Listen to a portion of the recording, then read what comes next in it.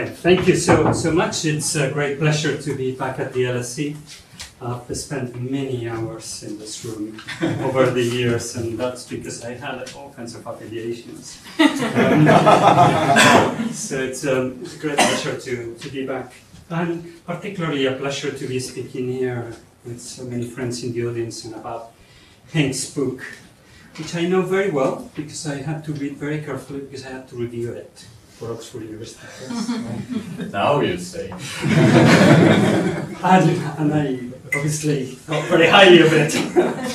um, and so there's lots of things about Hank's work on understanding that I think have um, been really inspirational and help us all think um, more coherently and more deeply about understanding.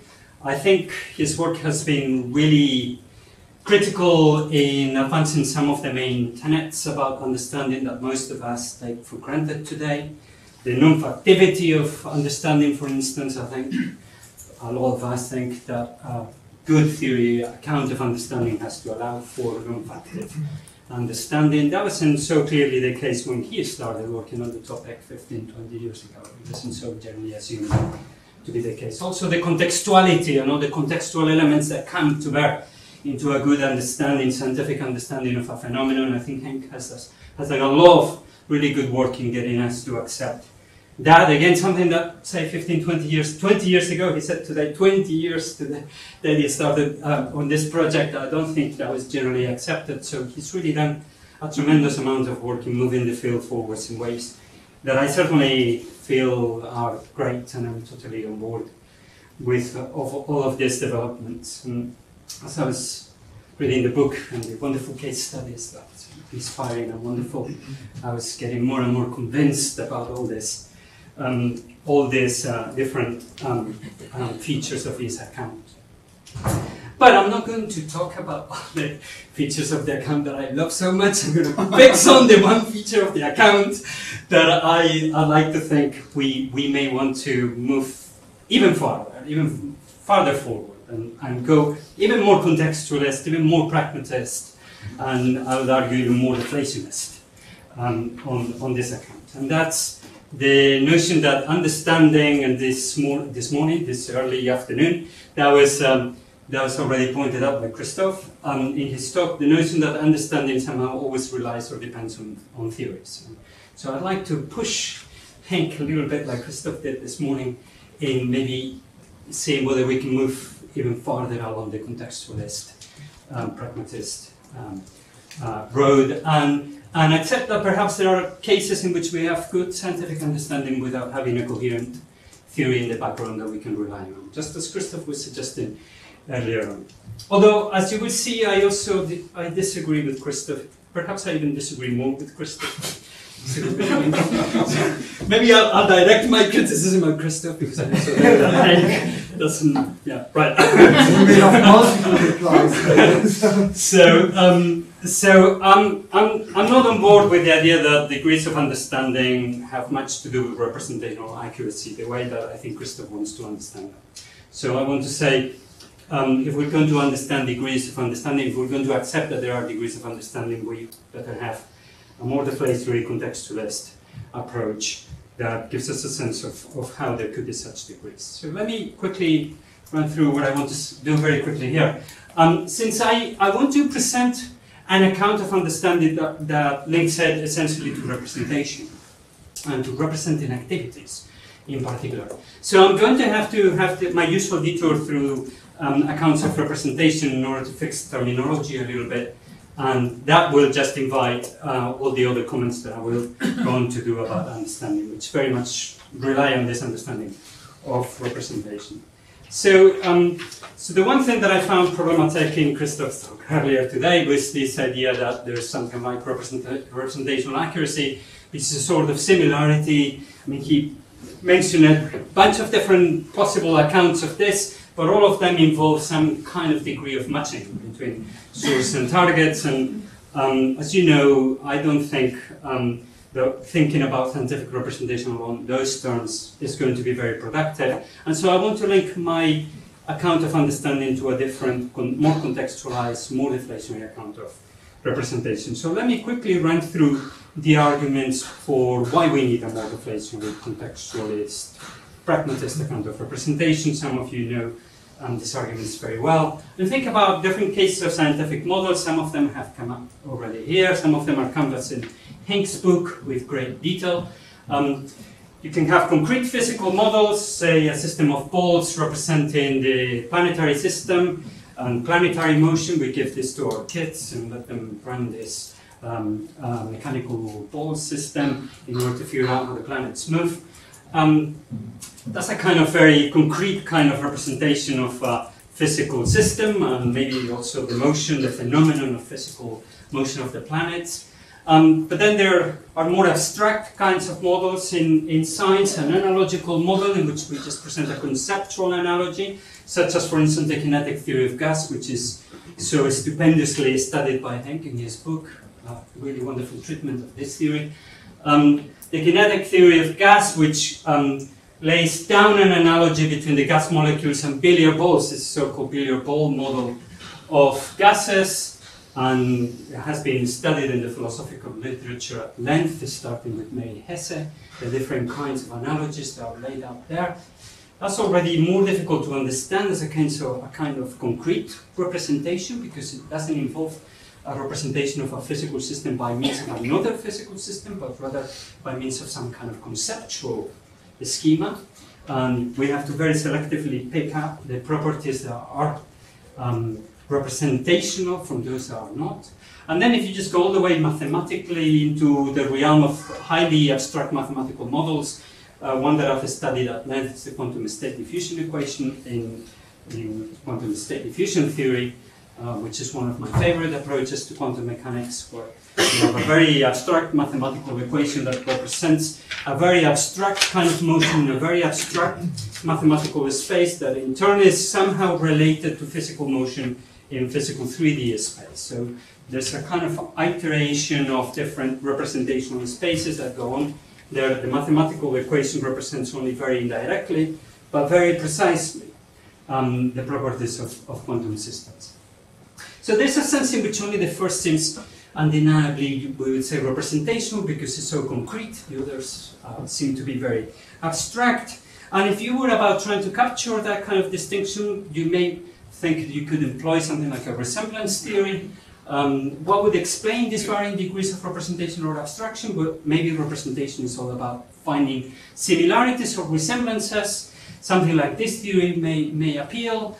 If the A is the source of the representation, a painting in the case of artistic representation, a model in the case of scientific representation, then um, the resemblance theory would simply say that um, the source represents the target if and only if, uh, or to the extent that the source resembles the target. And that seems quite intuitive. It works um, naturally in cases of artistic representation. It seems to work in cases of physical uh, representations by means of concrete models. But when you start thinking about the varying degrees of resemblance, that does not seem to capture the accuracy or the representational power um, of the different models. The mathematical model, the quantum state diffusion model, is extremely precise while the concrete physical model with all the balls that you give to your kids is a lot more imprecise as a model of planetary motion. So um, whether this is a good guide to the accuracy of the representation, I could dispute.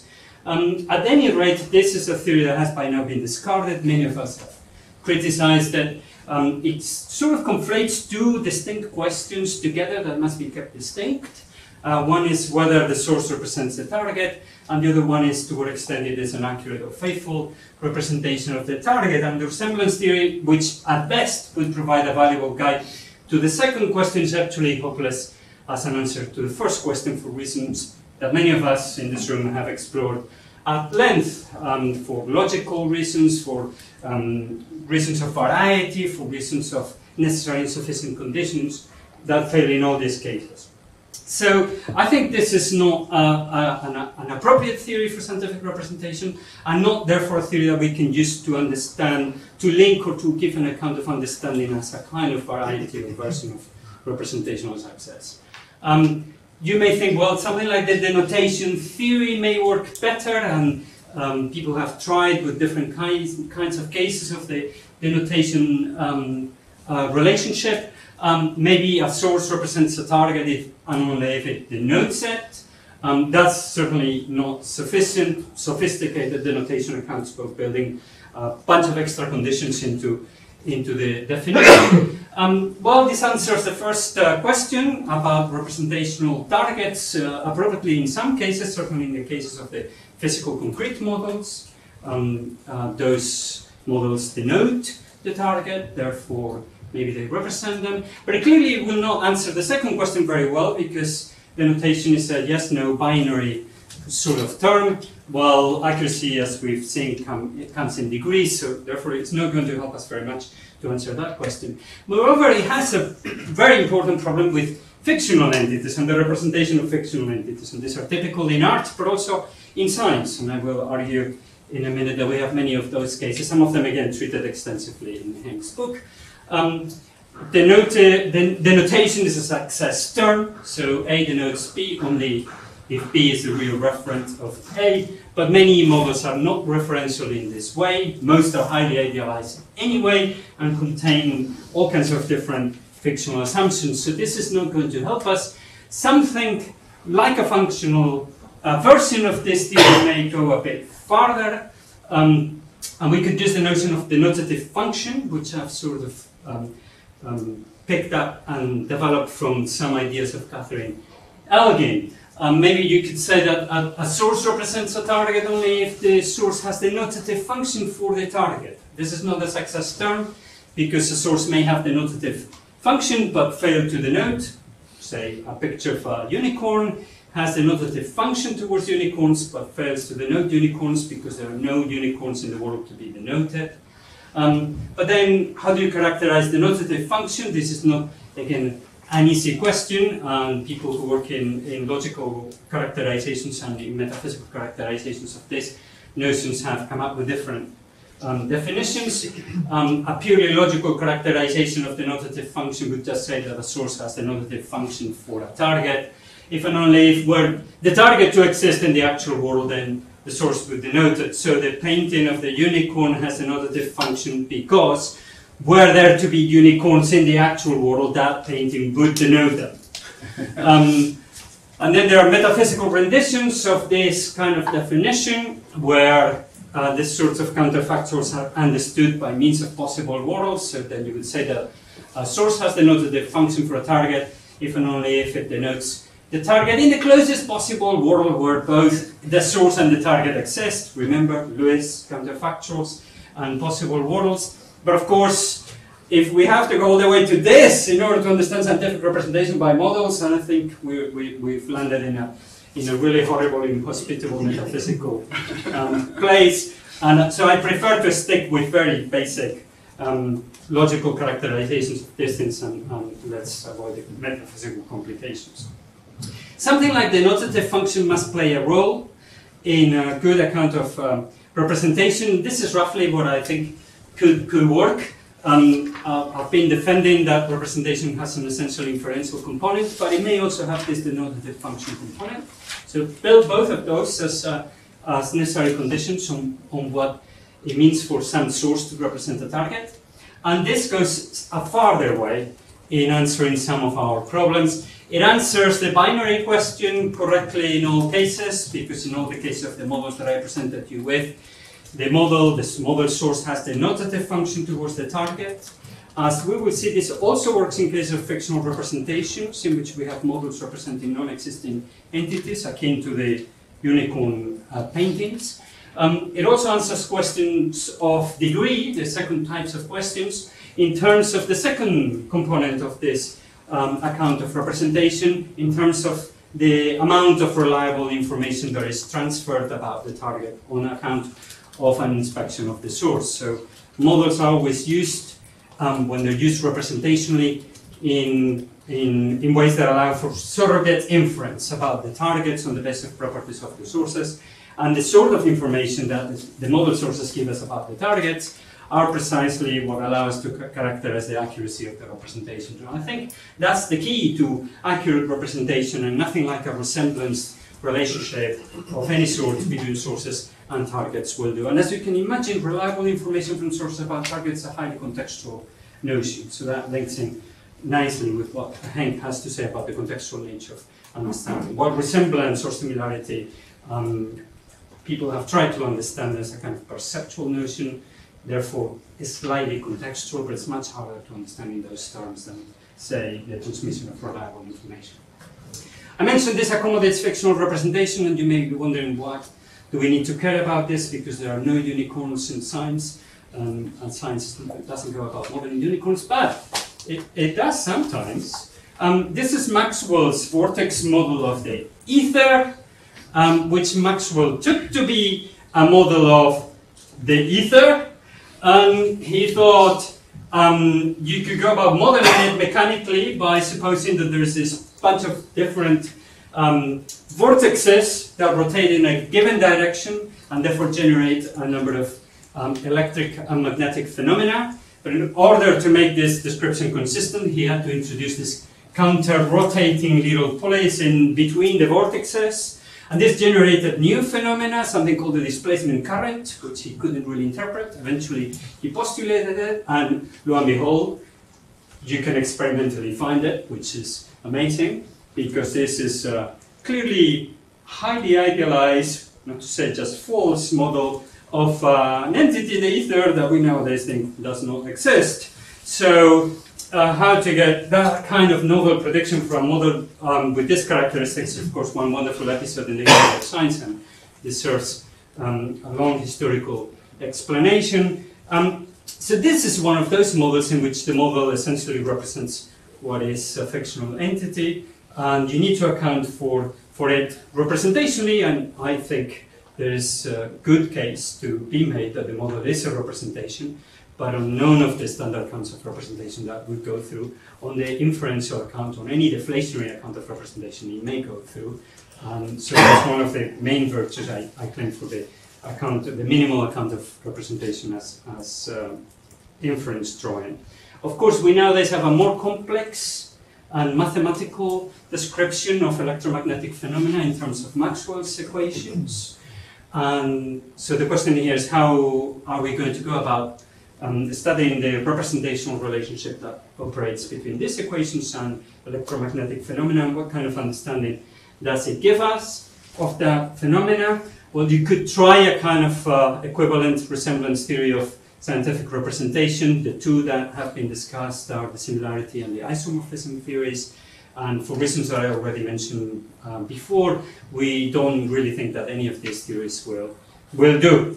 So something like a denotative function version of um, Rick Hughes' um, theory of the DDI account of representation may work. I know that Roman and James um, have developed a sophisticated account um, along these lines. Um, it will have to employ something like what I mentioned before, the notion of denotative function. Um, something like that may work, nothing like a resemblance account will work. What are the consequences of all this for understanding? Okay, so um, since I still have 10 minutes, um, I now want to come to the point that I want to make today, which concerns how to go about accounting for understanding on the basis of this notion of representation. So this is similar to what Christoph did um, a few hours ago, but there are some significant differences between the way he was going about doing this and the way I like to do it.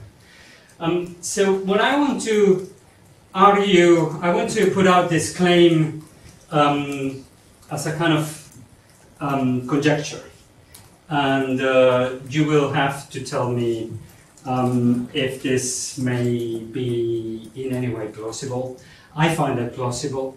Um, I think it chimes in well with some things that Hank does in the book, and there's a natural continuation of many of the things and themes that he raises in the book. Although it's also different to what he does in the book because it does not depend on the idea that understanding always relies on background theory. So what I want to claim is that there is a sense of very basic scientific understanding that one gets only in virtue of providing a model for a phenomenon. So you can understand a phenomenon very basically just by providing a model for it. That in itself is sufficient for a minimal kind of understanding for a scientific phenomenon. So I, I like to defend something like this, that some model represents some phenomenon if the conditions for uh, representation obtain. and they are very minimal. Denotative function and informative inferences. Remember that these informative inferences need not be to true conclusions, and I'm not employing here a veridical account of information, rather a purely mathematical deflationary account of information and information transmission, as in Shannon's theory, but nothing that builds any kind of truth semantics into it. So the claim would be that understanding, which on this account is an activity, the activity of drawing inferences from source targets, is um, just the it's just a matter of providing a model and, and representing by means of the model. The model need not be a particularly felicitous one, and it could include all kinds of idealizing and fictional assumptions. But nonetheless, that's already sufficient to provide us with a basic kind of understanding of the phenomenon. So another way to put this claim is to say that representing some phenomenon minimally by means of some uh, model source uh, already provides some understanding of that um, of that model, of the target of the model in terms of the model source. And since I've not built into any conditions of activity or success into this notion of representation, the notion of understanding that comes out is similarly non-factive and does not require reference referential success. So you can have perfectly good understanding of the ether provided by the mechanical model that Maxwell um, de develops. There's a sense in which that model already provides you with some basic minimal understanding of what? Of the ether. And on my account, these are all permissible ways of using the terminology, because there's nothing in this theory of representation that, does, that comes into conflict with any of those um, terms.